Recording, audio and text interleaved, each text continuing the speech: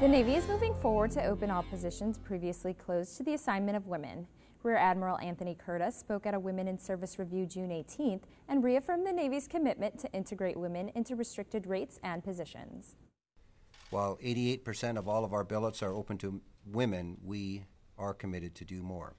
The Navy will have no closed occupations, a very limited number of closed positions, and equal professional opportunity for females in every officer designator and every enlisted rating by 2016. Currently, about 19,000 positions are restricted to the assignment of women on surface ships and submarines. The Navy will decide whether to expand opportunities for enlisted women to serve on frigates, mine countermeasures ships, and other restricted platforms no later than June 2014.